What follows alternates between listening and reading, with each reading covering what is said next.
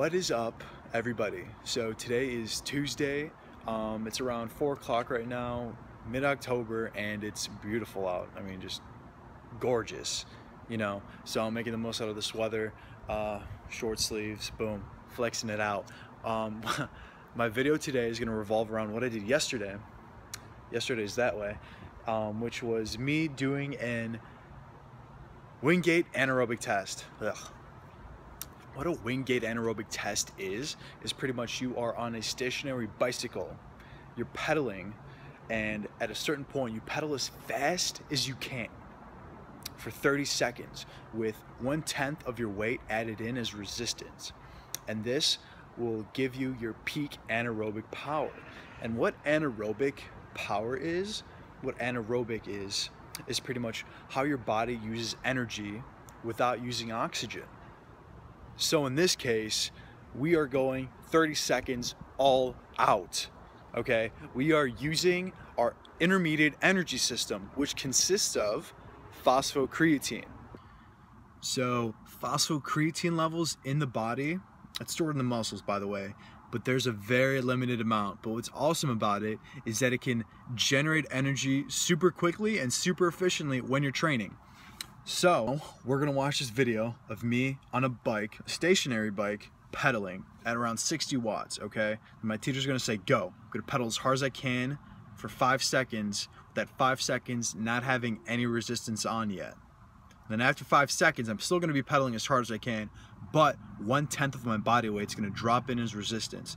And that is when that intermediate energy system is gonna kick in and we're gonna see how much of my type 2X fibers can handle that resistance, see how long I can go for before my fibers fatigue and I slowly start declining.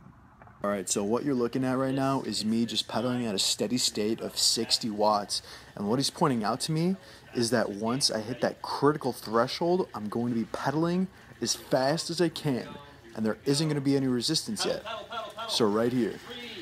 And in five seconds, the weight's going to drop which is one tenth of your body weight. So for me, it's about 22, 23 pounds. And I'm gonna be doing this for 30 seconds.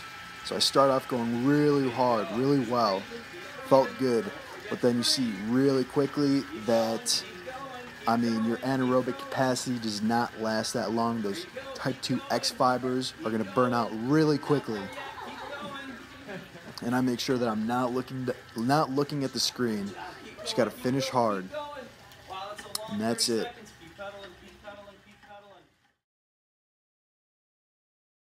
So that graph is a little bit blurry, but you guys should notice that it starts out really high and then slowly drops, but it doesn't drop all the way because I don't give up.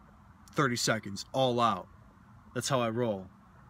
So my overall output was around 30,175 point like three. I think that's what it was.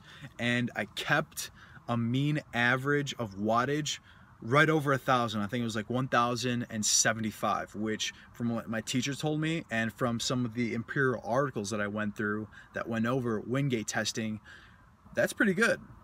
And I'm right up there with like top tier elite athletes from what I've seen. All right, so, oh, what is that? Ah, okay, that is the gel from my neuroscan that I got today at Sports Brain, which I'll talk about later, not right now. But remember to subscribe to my channel, give me a thumbs up, and follow me on Instagram, J-A-K-U-B underscore sizzfitness, all one word. It'll be in the description below. I'll see you guys later. Let's grow fit fam.